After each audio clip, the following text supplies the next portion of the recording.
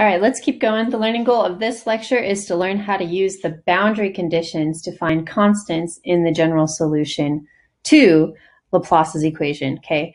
Okay, so let's go back to the beginning of the problem. If you guys remember this problem, we had uh, a configuration of plates here, two of them grounded, one of them hot, and that established these particular boundary conditions, okay? So I know that the potential is zero, when y is equal to zero, I know the potential is zero. When y is equal to a on this plate, I know that the potential is this V naught when x is equal to zero, and I know the potential goes to zero as x goes to infinity because we're getting far and far from this hot plate, which is at a potential of V naught, okay? I also know, based on what we did in the last lecture, okay, that this problem has what would be called a uh, general solution that we found through separation of variables, and that general solution looked like this guy. Okay, so basically it's general because we haven't figured out what all these constants are by applying our boundary conditions. Okay, so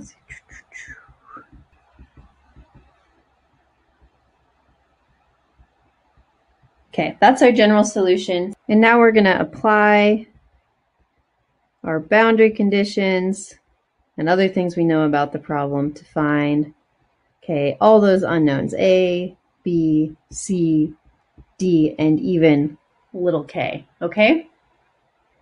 So the first thing uh, we're going to do, and I'm going to scooch this guy to the top of the next slide. Okay, the first thing I want to do is if I go back to my boundary conditions, I've got this boundary condition here, 4, that says that the potential needs to go to 0 when x goes to infinity. Okay, so our boundary condition 4, which says that v goes to 0 as x goes to infinity, if I look here at my general solution, a term is going to screw that up, right? This term here is not going to go to zero as x goes to infinity. In fact, uh, it could get really, really, really big as x goes to infinity. Okay, so that tells me that I need to get rid of that term that basically blows up as uh, x goes to infinity. So that tells me that a needs to be equal to zero. Okay, so this term here doesn't Okay, blow up. Okay, so that helps. I get to get rid of that A term. Okay, I'm going to simplify now by absorbing the constant B.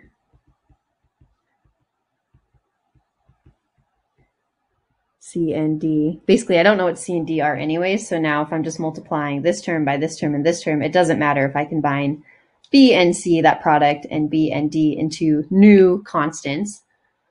Okay, so that's going to simplify my general solution. I'm getting rid of another unknown, or rather, I'm absorbing it into some unknowns that I already have. So I'm going to have now two terms, the C times kx times the sine of ky plus d e to the negative kx times the cosine of ky. All right, cool, cool. So now let's go back and look at my boundary conditions.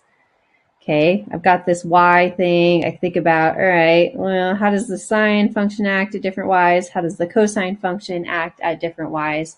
If I go back here, okay, I know that the potential has to be zero when y is equal to zero. That was my first boundary condition. So my boundary condition one that says that v equals zero, okay, when y equals zero, if I look, that's not consistent with um, this second term here, okay? When y equals zero, the second term is going to be one, okay? So that tells me that d has to be equal to zero, and that's because basically the cosine of 0 is equal to 1. This other term behaves nicely because the sine of 0 is equal to 0. Okay, so we're good there. Cool. Okay, so now we've simplified even more. That's what we're trying to do. Make this into something manageable. Now I've just got this guy, okay? One term. I'm not quite done yet. My second boundary condition specifies that the voltage has to be equal to zero when y is equal to a. Okay, so looking at this equation here, the only way that can happen is if this second term goes to zero when y is equal to a. Okay, uh, I know, I know that the sine of n pi is equal to zero, where n is an integer. Okay, so based on that, I know that if I can, uh, I need my k sub y to be equal to some n pi when y is equal to a. Okay, so I can say that k times a should be equal to n times pi, and that gives me that k is equal to n pi over a.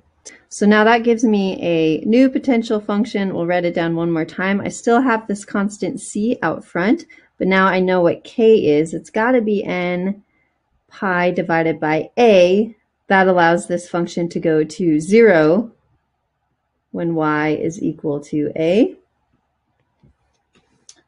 All right, so the only thing left I need to know is c.